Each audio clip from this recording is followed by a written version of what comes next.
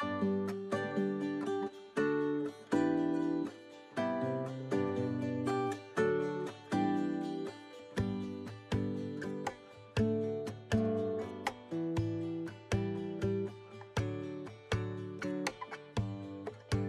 Theplas are something that I really love and enjoy and getting the perfect theplas is something that I think we all try to do. Today I'm going to show you guys a wonderful and easy recipe. This is methi thepla. So let's get started and check it out.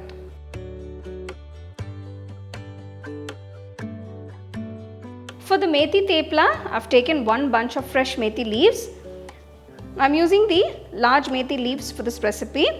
So first pluck the leaves, you can either chop the leaves and then wash them or you can also just pluck the leaves first. So now I'm going to wash it a few times. Make sure you wash it at least 2 to 3 times so there's no uh, mud or sand in it. I washed the methi leaves a few times you can see it's nice and clean. Now I'm just going to chop it and keep it aside.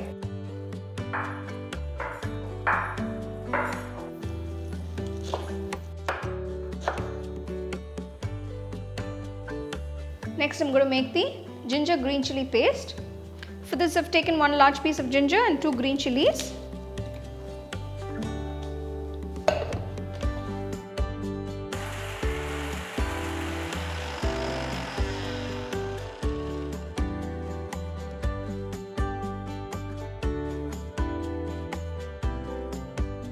Add some water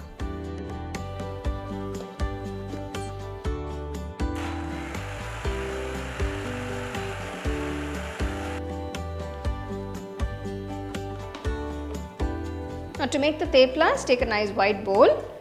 To this take one and a half cups of wheat flour or atta, quarter cup besan or gram flour. Next add 1 teaspoon of salt, half teaspoon turmeric powder, 1 teaspoon Kashmiri red chili powder. If you'd like it a little spicy, you can add extra. Half teaspoon carom seeds or ajwain. 2 teaspoons ginger and green chili paste. 2 tablespoons curd or yogurt. 1 tablespoon oil. Next add the chopped methi leaves, roughly about 2 cups. Add a teaspoon of kasuri methi now first I'm going to mix without adding any water. Make sure everything is well combined.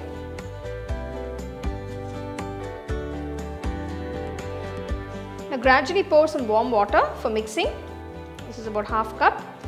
Now if I need extra, I will probably add a little later after mixing.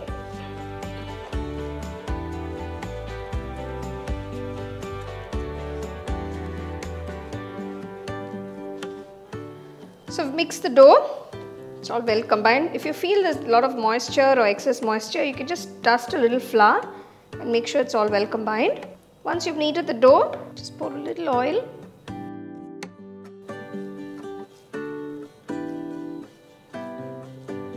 Close it and let it sit for about 25 to 30 minutes.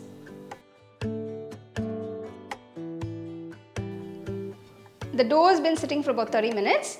Now I'm going to start rolling out the theplas. First divide the dough into equal size balls. So it's so moist and nice. So this is a good size to take.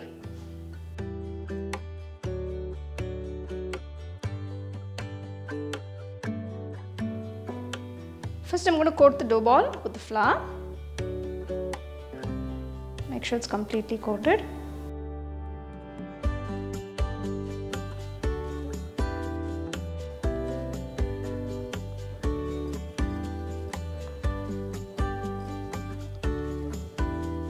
So if required add some flour so that it's not sticking. So make sure you roll them nice and thin. So you can see I've rolled it out nice and thin here.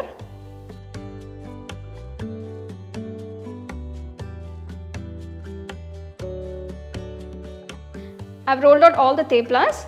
Now I'm going to start frying them on the tawa. Make sure the tawa is nice and hot. The theplas have to be cooked fast, so make sure the tawa is hot at all times. So I'm frying these on a high flame. Once you see the brown spots, just add a little oil. You can either add oil or ghee.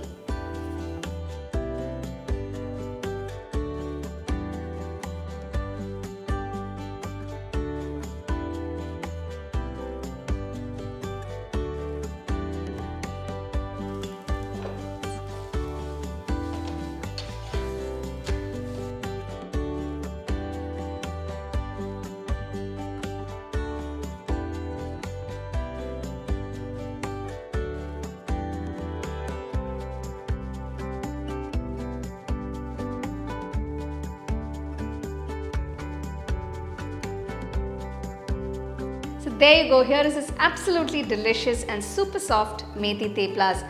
Now this is very nice if you can have it with some nice achar that is pickle or with some curd by the side. Uh, it makes for a great lunchbox recipe and also for picnics it makes for a great uh, meal or lunch. So do try this recipe and enjoy. You can get a copy of our first edition of the home cooking book on 21 Frames.